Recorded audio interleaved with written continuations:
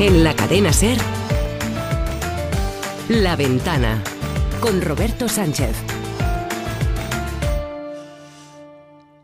¿Qué tal? Muy buenas tardes. Las 4 y 6, 3 y 6 en Canarias. Eh, se ha ido Rosa María Sardá, con 78 años. A ver, Rosa María Sardá, por lo que tuve la oportunidad de conocerla, eh, siempre había sido un poquito gamberra. Sigue siéndolo.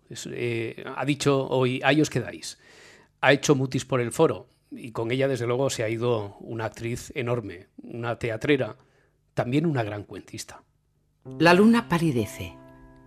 Está cansada. Por no dejar la tierra oscura se ha pasado la noche en vela y filtrándose por las rendijas de las persianas iba vigilando de cerca el sueño de grandes y chicos. Cuando los ojos se resisten a cerrarse a pesar del cansancio y el pensamiento no descansa porque le invaden miles de imágenes que surgen del silencio, la suave luz de la luna tiñe de paz el tiempo que passa.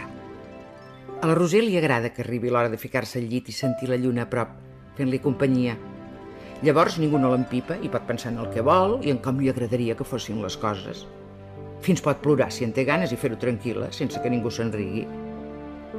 La Roser potser n'és una mica massa de ploranera, però els demés no saben que quan plora no sempre ho fa de la mateixa manera, ni tampoc per la mateixa mena de coses, encara que ho pugui semblar.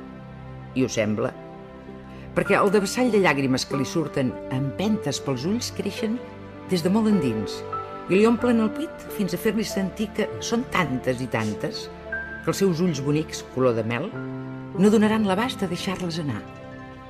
Llavors la Roser obre la boca, però no són llàgrimes el que en surt, sinó el so de l'angoixa que li bull dins del pit. Treu-me la placa que porto al pit. Allà on vaig no la puc fer servir. fent massa fosc per veure-hi clar. Estic arribant a les portes del cel.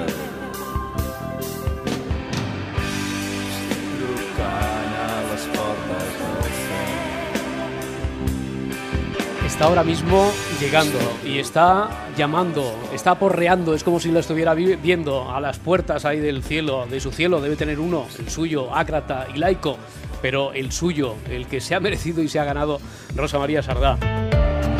En la cadena Ser.